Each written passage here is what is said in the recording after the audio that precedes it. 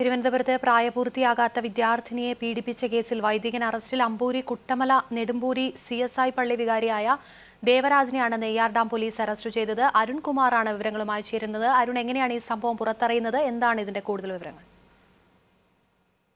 ഇന്നലെ ഈ കുട്ടി പള്ളിയിൽ ഈ പഠനത്തിനായി പോയിരുന്നു. കുട്ടി വൈകുന്നത് അറിഞ്ഞ അച്ഛൻ പള്ളിയിലെത്തിയപ്പോഴാണ് ഈ കുട്ടിയെ ഉപദ്രവിക്കുന്നത് ഈ അച്ഛൻ ഉപദ്രവിക്ക വൈദികനെ ഉപ- ഉപദ്രവിക്കുന്നത് അച്ഛൻ കണ്ടത്. ഇതേ തുടർന്ന് അവിടെ നേരിയ സംഘർഷമുണ്ടായി. പക്ഷെ വൈകുന്നേരമായപ്പോൾ അച്ഛനും ഈ പള്ളി വികാരിയും മറ്റു ചിലരും ചേർന്ന് ഈ കുട്ടിയുടെ വീട്ടിലെത്തുകയും മാപ്പ് പറയുകയും ഒക്കെ ചെയ്തു. അതേ തുടർന്ന് ചില സംഘർഷങ്ങൾ ഉണ്ടായി അവിടെ ഉണ്ടായി ഉണ്ടായി. ഇത് സംബന്ധിച്ച് വൈദികനെ മർദ്ദിച്ചു എന്നൊരു കേസും നെയ്യാദാം പോലീസിൽ എടുത്തിട്ടുണ്ട്.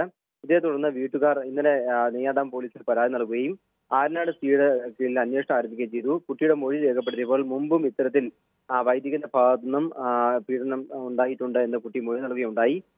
ചൈൽഡ് വെൽഫെയർ പ്രവർത്തകരും എല്ലാം കുട്ടിയുടെ മൊഴി എടുക്കുകയുണ്ടായി. അതിനുശേഷം ഇന്നലെ രാത്രിയോടുകൂടി തന്നെ ഈ വൈദികനെ പോലീസ് കസ്റ്റഡി എടുത്തു. ഇപ്പോൾ അയാളുടെ അറസ്റ്റ് രേഖപ്പെടുത്തിയിട്ടുണ്ട്. ഇന്ന് വൈകുന്നേരം തന്നെ ഇദ്ദേഹത്തെ റിമാൻഡ് ചെയ്യുമെന്ന് പോലീസ് അറിയിച്ചു.